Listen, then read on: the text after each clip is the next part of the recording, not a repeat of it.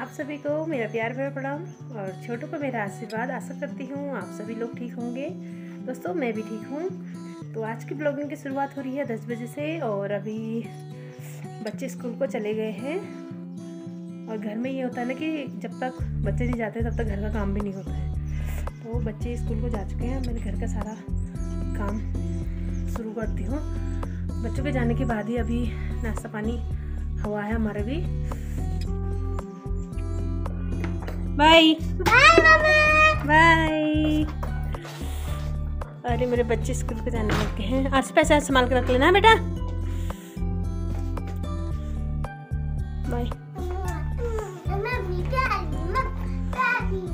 क्या कहते हैं? यहाँ पे रोड में धूप में खड़े रहना हाँ? जाओ फिर जाओ। आ जाती है गाड़ी।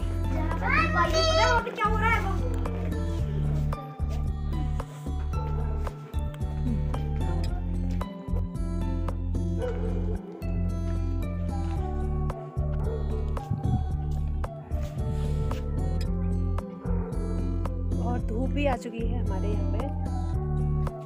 तो अभी मैं अपने जानवरों को बाहर निकाल देती हूँ। थोड़ा धूप सकेंगे वो भी।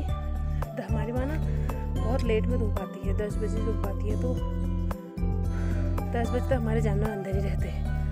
और उसके बाद शाम तक कितने बजे? तीन बजे तक बाहर रहते हैं। उसके बाद फिर छाया आ जाती है।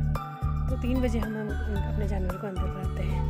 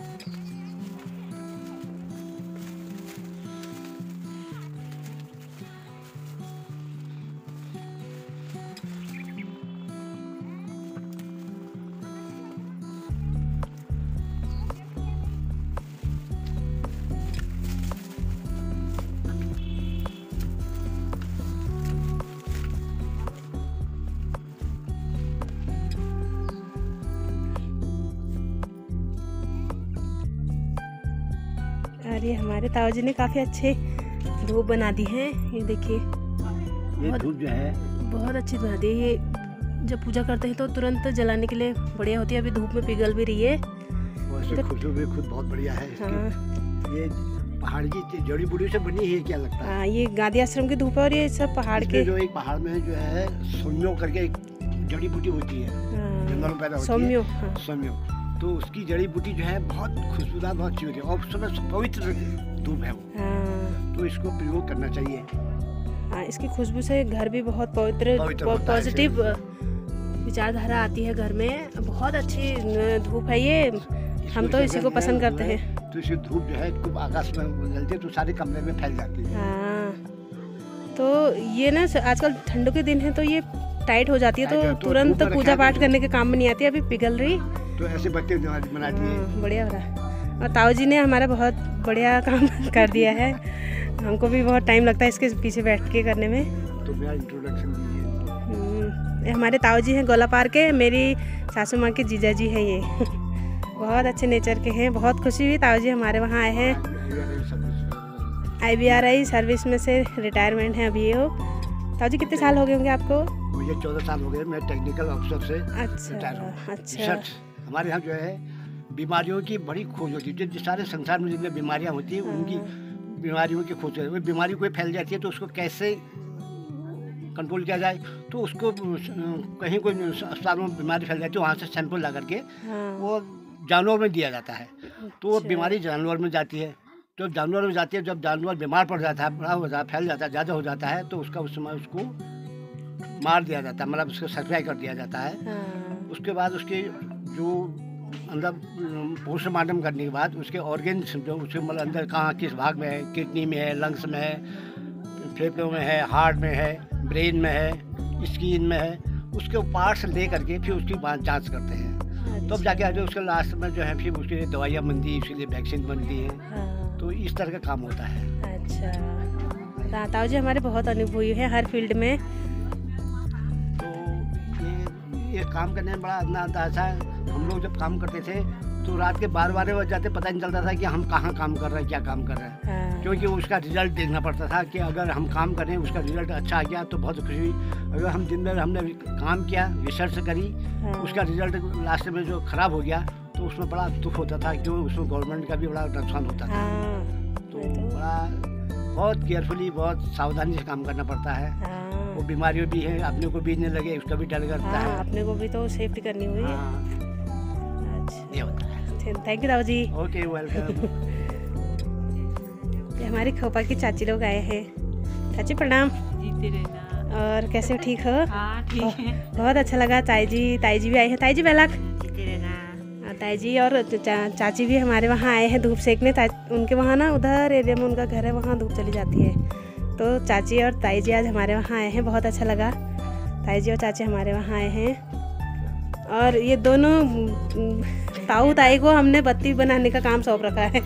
एक धूप बत्ती बना रहे हैं रुई की बत्ती बना रहे हैं ये देखिए। बहुत अच्छी बत्ती बनाती है हमारी ताई जी भी ये रुई की थी बढ़िया बत्ती बना रही है जैसे बाज़ार में आती है ना रेडीमेड बत्तियाँ वैसी वाली बत्तियाँ बना रही है ये देखिए।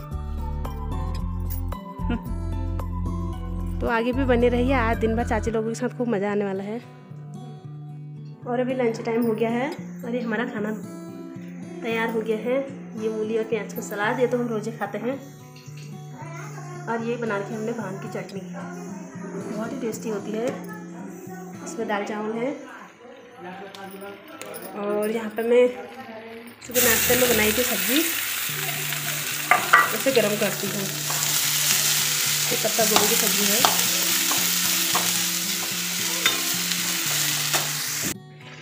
तो चलिए जी, हम लोगों का खाना पीना तो हो गया है। अब मैं धोती हूँ बर्तन। बर्तन धो लेती हूँ उसके बाद फिर चाची लोग आए हैं, थोड़ी देर उनके साथ बैठेंगे। और यहाँ पर हमने लहसुन बोया हुआ है। लहसुन के खेत में आज हम फिर से सिंचाई कर रहे हैं। इस तरीके से इसमें सिंचाई हो रही है।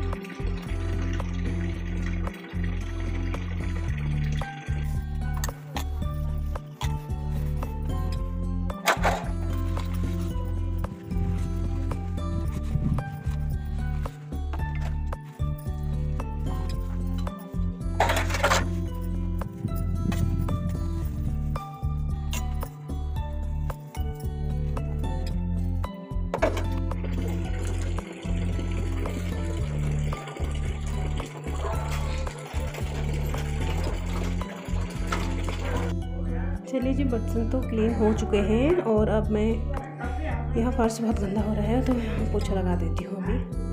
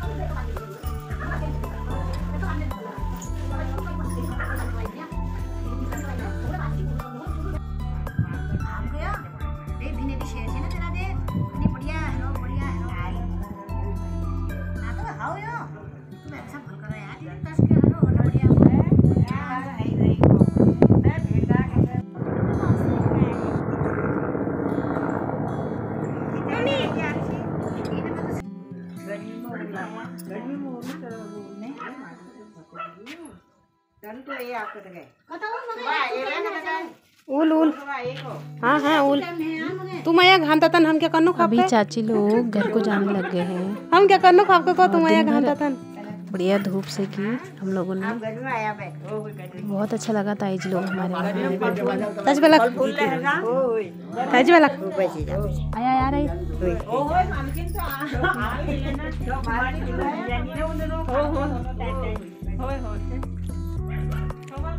बाय बाय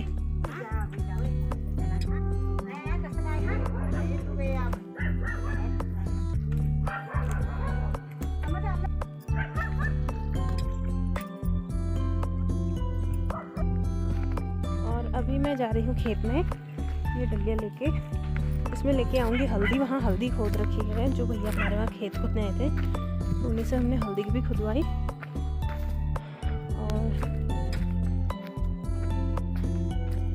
मम्मी तोड़ी है बिच्छू की सब्ज़ी, बिच्छू साग। उसकी रेसिपी मैं आपको बाद में शेयर करूँगी, बिच्छू की सब्ज़ी की। मम्मी आई है बिच्छू की सब्ज़ी तोड़ने।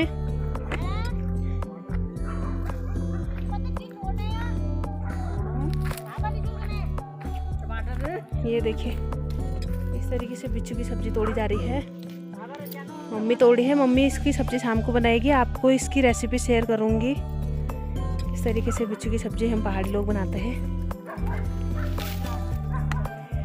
इसके कांटे बहुत चुभते हैं, इसलिए इसको चिमटे से पकड़ के तोड़ा जा रहा है।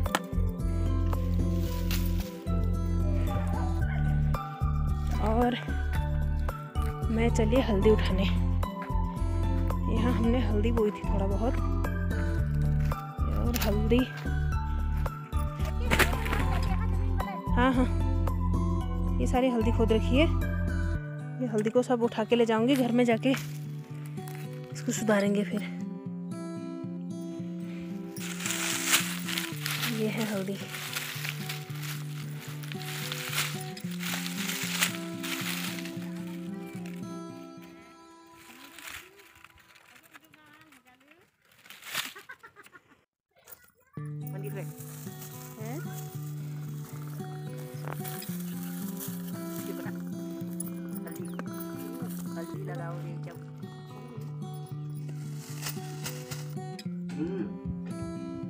बीन दे रहा हूँ फिर भी।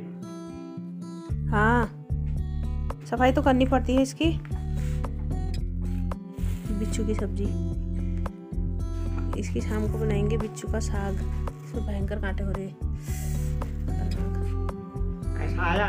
तो दोस्तों शाम होने को है और मैं जा रही हूँ अभी अपने गाय के गौशाले। ये है मेरे गाय के गौशाले जाने के लिए। गाय के लिए अर्दरा बना रखा है और वो है बाल्टी।